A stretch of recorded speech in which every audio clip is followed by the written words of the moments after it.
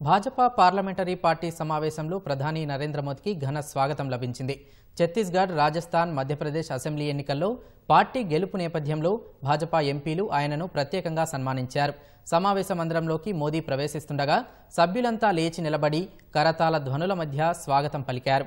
Party సభ్యులంతా మోదీ నాయకత్వాన్ని ప్రశంసిస్తూ నినాదాలు చేశారు. పార్టీ అధ్యక్షుడు జేపీ నడ్డా ప్రధానిని సత్కరించారు. ఇటీవల వెలువడిన ఐదు రాష్ట్రాల ఎన్నికల్లో భాజపా మూడింట్లో గెలవగా తెలంగాణలోనూ ఓట్ల శాతం సీట్ల సంఖ్యలో పార్టీ పురోగతి సాధించింది. మోదీ నాయకత్వం వల్లే ఈ ఫలితాలు సాధ్యమయ్యాయనే అభిప్రాయం పార్టీ శ్రేణుల్లో నెలకొంది.